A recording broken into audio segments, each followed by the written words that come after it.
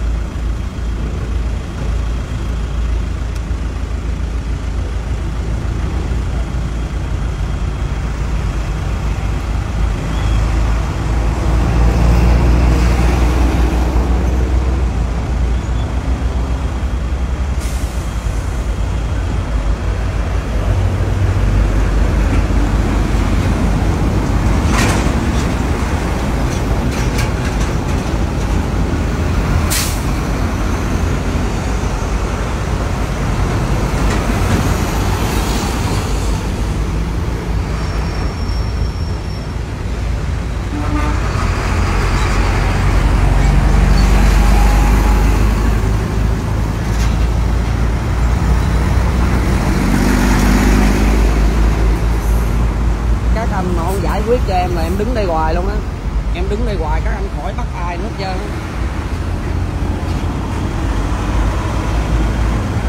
các anh muốn đứng tới mấy giờ, em đứng tới mấy giờ với các anh không hay luôn á.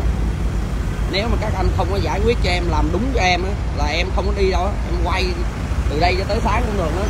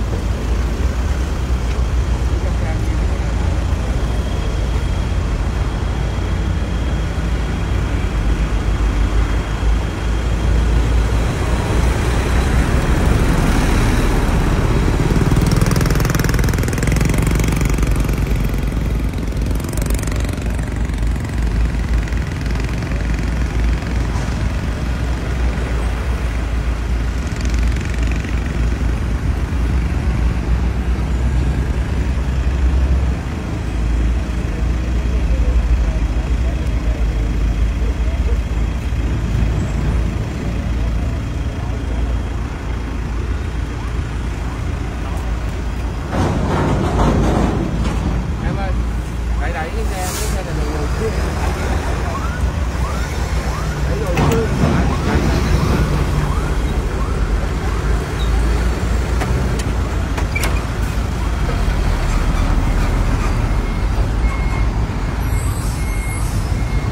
đó lập chốt mọi thứ là là là không đúng gây cản trở giao thông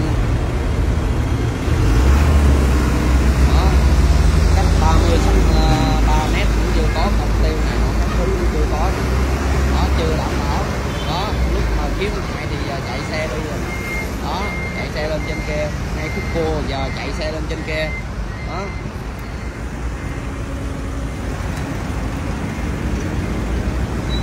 đẩy lên em đó giờ điều động thêm một xe nữa.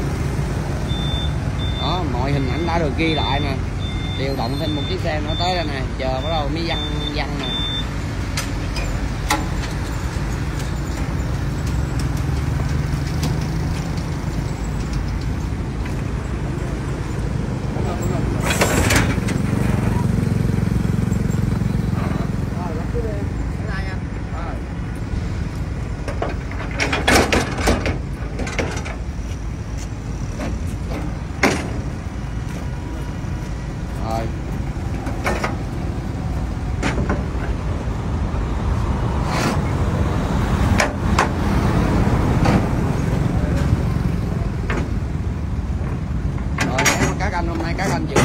rồi em nếu mà có gì các anh phải chịu trách nhiệm trước pháp luật nha. Chứ thời gian làm việc của các anh đó là quá nhiều, với đối với em rồi, làm mất thời gian của em quá nhiều.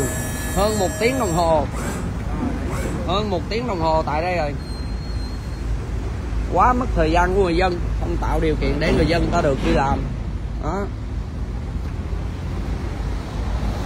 Không cho người dân được coi kế hoạch chuyên đề làm việc ngày hôm nay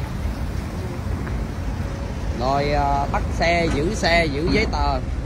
Đó không ký tên gì hết trơn á. Không hề ký nha không ký giấy tờ gì hết trơn á. Không hề ký một tiếng nào hết trơn á. Đó.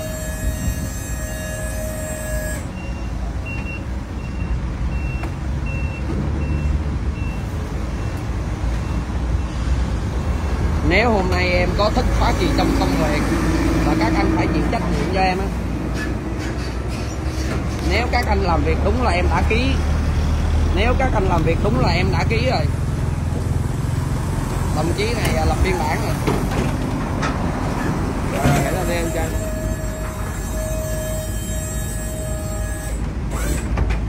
lập biên bản nhưng em không ký. Tại vì làm chưa đúng quy định của nhà nước cho nên em không ký. Chuyên đề không có cho coi, kế hoạch không cho coi. Tổ công tác bao nhiêu người cũng không biết. Vô cớ bắt xe. Trong lúc đó chưa phát hiện lỗi vi phạm giao thông nào, lúc đang điều khiển phương tiện. Bắt rồi giữ xe người ta người ta chỉ quên đem theo giấy đăng ký thôi, giấy đăng ký mô tô thôi, chứ không phải là không có. Xin được phép về nhà lấy giấy thì không cho.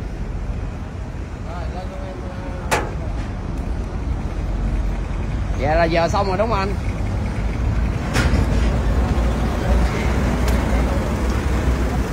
Rồi, ba đồng chí xác nhận với em là làm việc với em xong rồi, đúng không? Nếu mà xong rồi thì à, các anh nếu mà có gì tổn thất đến công việc của em, xe cộ và mọi thứ của em, các anh phải chịu trách nhiệm cho em. Rồi, ba đồng chí, rồi, bỏ đi hết rồi.